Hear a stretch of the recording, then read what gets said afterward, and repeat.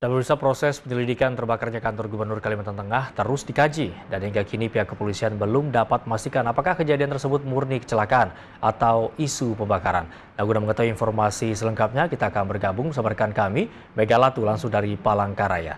Mega, silakan informasi untuk pemirsa sore hari ini. Dua, satu, Q. Ya hari dari Jalan Geobus Kota Palangkaraya kami akan menyampaikan perkembangan terkini terkait dengan kebakaran kantor Gubernur Kalimantan Tengah dan sampai saat ini memang masih dalam proses penyidikan oleh pihak kepolisian dari Polda Kalimantan Tengah dan juga Polres Palangkaraya dan juga tim lab forensik dari cabang Surabaya.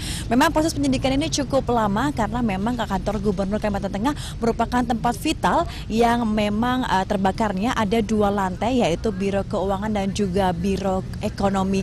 Memang banyak kedugaan hari terkait dengan adanya sabotase dari uh, kebakaran di kantor Gubernur Kalimantan Tengah ini karena memang banyak eh, surat-surat uh, dan juga perizinan perusahaan sawit maupun tambang yang ada di dalam kantor Gubernur Kalimantan Tengah ini. Dan sampai sekarang pihak kepolisian sudah memeriksa 11 saksi di antaranya 7 Satpol PP dan dua staf uh, Biro Keuangan dan juga Biro Keekonomian dan juga dua lagi petugas PL PLN yang di mana sebelumnya waktu minggu siang juga sempat dilakukan pemadaman.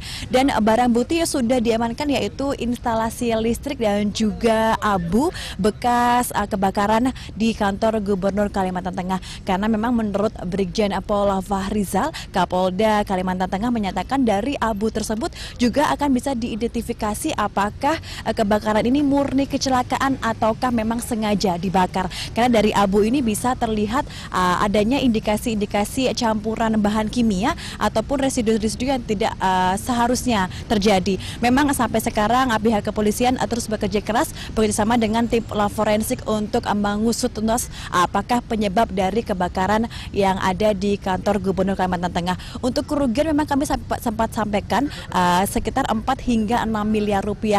Namun pejabat uh, Gubernur Kalimantan Tengah yaitu Hadi Prabowo juga sudah menyampaikan bahwa kerugian mencapai 15 miliar rupiah. Di antaranya aset dari gedung sendiri 7 miliar, kemudian aset dari perlengkapan mencapai 8 miliar rupiah. Selain barang bukti juga uh, diamankan sejumlah uang hari sebesar 900 juta rupiah, di mana uang ini berasal dari lantai satu Biro Ekonomi sebesar 150 juta rupiah, kemudian di lantai dua Biro Keuangan uh, sebesar 800 juta rupiah. Dan polisi juga akan terus menyelidiki uh, keberadaan uh, uang ini sebanyak ini kenapa uh, bisa ada di kantor Gubernur Kalimantan Tengah. Demikian yang kami sampaikan, hari kembali ke Anda.